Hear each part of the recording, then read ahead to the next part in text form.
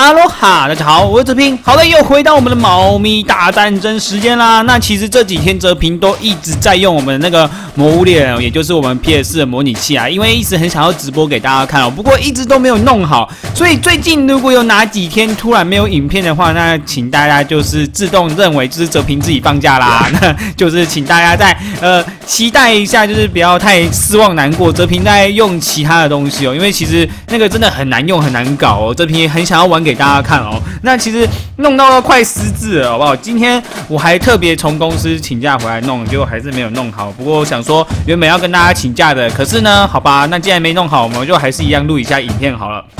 那我们今天要来 K 我们的宇宙篇。那听说我们的宇宙篇已经打到就是剩一关，好像就要打我们大霹雳哦。所以我们今天就是先来挑战我们这个黑洞哦。那黑洞的初级条件就是呃稀有度 EX 跟稀有跟超级稀有的哦，最多。可出战角色数量是十只哦，所以又是比较麻烦的。那我们就来调配一下我们的队友吧。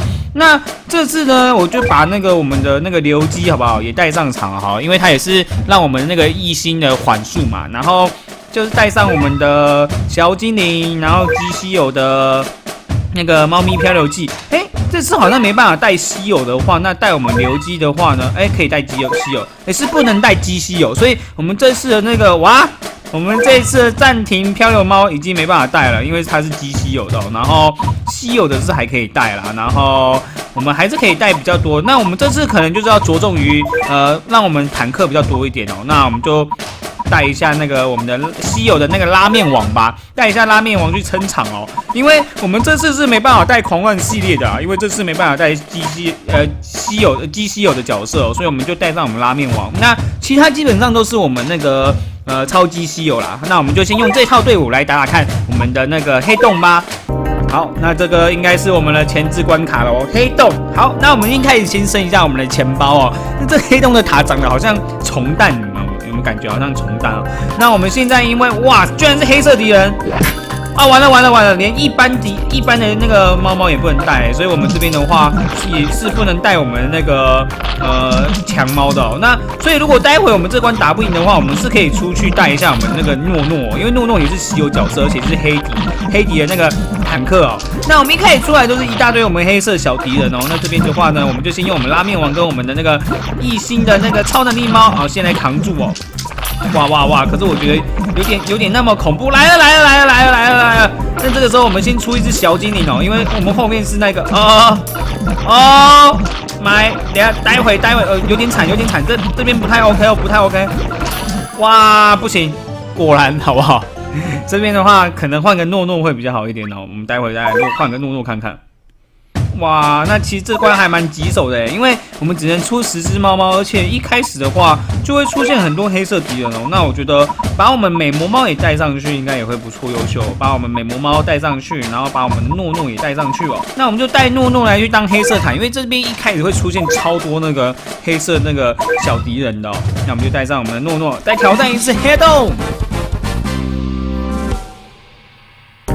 好，那我们就是一样哦。那我们就先生点钱，那等他出来的时候，我们再扛出去就好了。那这边就话一开始，泽平就想说，就是先派我们诺诺跟我们的美魔猫，因为美魔猫打黑底还算蛮好的。诺诺加美魔猫，然后继续诺诺加美魔猫。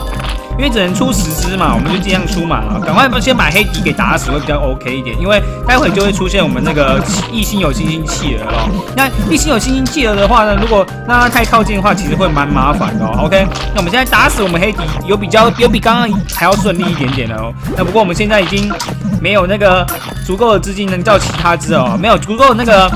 足够场，呃，足够的空间了，因为现在只能限制十只嘛。哇，开始传送，开始传送了。那我这边的话比较紧张，我们一样把刘基派出来。那他这边的话是出了两只异星有星星器的哦。那记得异星有星星器的是百趴传送哦，所以大家特别小心一点。我们这边靠我们刘基跟小精灵啊，再怕我们一只卡利法，加油。OK，那我们这边刘基砍到了会瞬间就是让他们缓速哦，所以刘基六六六。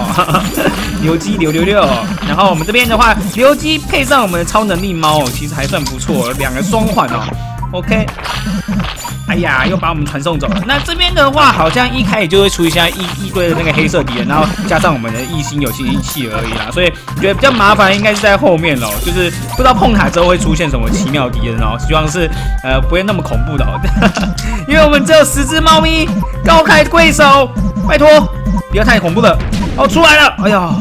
是我们的那个异星有星星班车鱼跟异星有星星地鼠啦。那基本上的话啊，我们的那个被打死了，所以比较麻烦一点点。好，OK，没问题，我们派出哈哈姆特哦，因为这边还卡着一只钢铁敌人，会比较麻烦一点点哦。那哇，钢铁小兵真的是其实也是蛮麻烦的。那这关的话，大家应该也可以带一些就是打那个暴击伤害的猫猫出来啊，因为我们这边的话还是有钢铁敌人哦。钢铁敌人其实卡在前面算是极度麻烦的。加油加油！哇！哦，那我们哈哈姆特其实是已经死掉了，哇，太快了吧！哈哈姆特你也太不中用了吧，直接被打死，好，没问题，没问题，加油，加油！哇，这边的话呢是可以带那个肉骨锤啦，因为肉骨锤的话，它好像是稀有猫猫，就是把那个钢铁敌人打掉就没问题。哦，不过好险，我们这边靠我们美女神直接把我们的那个地鼠给打掉，那就剩下我们翻车鱼喽。啊！哎，其实我们的猫猫量其实一直都没有减少，因为我们一直都是满初级的状态，好恐怖哦！加油加油！这边的话，真的是非常建议大家可以带一下我们那个啦，打暴击的猫猫，因为这钢铁敌人卡在前面实在是真的非常麻烦，而且这次翻车鱼又是远距离大范围攻击的哦，这被他射爽爽！哇，暴击一个，暴击一个！那其实这关要注意的就是钢铁敌人跟一开始的黑色敌人，因为一开始黑色敌人撑住的话，后面就只是一只那个呃比较多只的那个又一心有星星气而已啊，一心有星星企鹅其实算还扛得住啦，不用太紧张。那比较麻烦就是碰塔之后的那个翻车鱼加地鼠，再加上我们那个那个钢铁敌人哦，钢铁敌人会帮我们那个翻车鱼扛掉很多的伤害哦。OK，没问题。那这关我比较难打的原因是因为我们之前都会带我们的漂流猫啊，那这一次是没办法带我们的漂流猫，所以才会比较难打一点点。哇，翻车鱼其实也是蛮麻烦哦，终于破盾了哦，真的是破地鼠的盾哦。哇，没问题没问题，卡利法可以再出了，待会还可以再出个哈哈姆特。但是希望不要再出钢铁敌人了啦，因为现在如果再出钢铁敌人的话，一定会持续僵持不下哦，会 很麻烦。上啊，哈哈姆特，打一下打一下，锤击。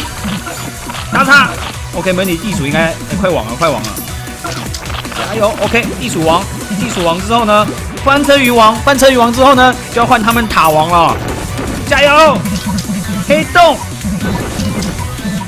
没问题吧？应该是没有其他敌人会出来了，没问题。那这关的话，就是比较小心的，就是一开始的黑色敌人啦。因为一开始黑色敌人的话，其实是可以用诺诺，或是用一些就是扛住黑色敌人伤害的猫猫在前面坦着，然后怕我们美魔猫去打。那一定要在一定时间内先把它清除掉，会比较优秀一点。因为之后后面会出现我们的那个异性有星星企鹅嘛。那异性有星星企鹅的话，就是。跟他扛住，然后用我们一些比较超级的猫猫，因为打完我们的黑色敌人的话，呃，黑色小敌人之后就会有一波经济嘛，然后经济就可以叫出比较厉害的猫猫，那用它们就可以扛住我们的企鹅的攻击了。那再来就碰塔要非常小心，就是有我们的钢铁敌人会挡在前面，然后后面会出现我们那个一星有星星的地鼠跟一星有星星的班车鱼哦，所以努力的先把钢铁小敌人给解决之后呢，就可以努力的把他们给打死啊，那黑洞就可以再成功的攻略喽。OK，那应该下一关就是大霹雳了。果然，好不好？那这个大霹雳关卡呢？嗯，我们有机会，好不好？我们再挑战看看。我们再挑战看看啦。好的，那其实今天泽平有想要有一个关卡想要求助大家，因为其实大家还蛮想看泽平打地狱门地呃地地狱门的。可是其实泽平其实尝试了很多次队伍，而且也有看过一些板板上文章哦，发现他们的打法其实就是运用暂停打法，可是。泽平好像用不太出来，所以如果大家可以有一些比较好的那个打法，或者比较稳定的话，都可以在以下留言告诉泽平哦。那我们这次再打打看哦，因为他基本上是用我们的哈哈姆特，就是快速的先把我们那个红猪、红色山猪打死之后，再再把我们那个班诺给打死。那班诺打死之后呢，其他就会比较好说了。那可是。每次在打般若的时候，泽平就会失误。那泽平打一次哦。那如果你有更好的打法，欢迎一定要在以下留言给泽平看哦，不然泽平会哭哦。OK，那我们就来挑战一次我们的修罗道极难，这算是一个求救啦。因为基本上，哎呦，带错了。好的，那基本上这算是一个求救啦。那哲平就是参考一些打法，然后自己研究一下之后，就是他们大概都是等我们的蛇蛇走到这个塔前面的时候，再放我们的苹果猫。那苹果猫放完之后，再放我们的那个火焰装剑士哦，然后再就是先把我们山猪给解决之后，就是去定盘班落嘛。那好，好像不知道为什么，好像是时间抓不到吧，所以我的班落好像定到一半，他就直接复活，就直接把我的那个哈哈姆都给打死了。OK，他们基本上都是这样，先用我们的那个苹果猫先在前面扛着，然后等我们山猪出来，就是比较过来的时候，我们再再再出我们那个双双剑士。OK，那现在可以差不多出双电双电视。OK，那这时候赶快出双电视之后呢，把我们三猪给打死，然后好像找时间出那个吧，出哈哈姆特，然后好像就是可以这样顺利的过去吧，我不知道，我是不知道啦。因为我打都，我每次看那个网络上一些那个大大的那个攻略影片，我我每次都失败啊。OK，这次应该可以了吧？拜托拜托拜托拜托拜托拜托，定定定定。